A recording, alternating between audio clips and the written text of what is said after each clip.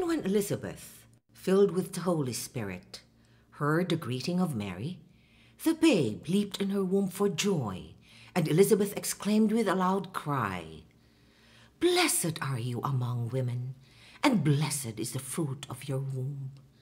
And why is this granted me, that the mother of my Lord should come to me?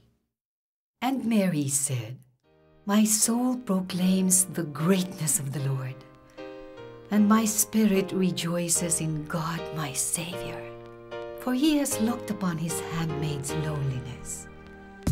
Behold, from now on will all ages call me blessed. The Mighty One has done great things for me, and holy is his name.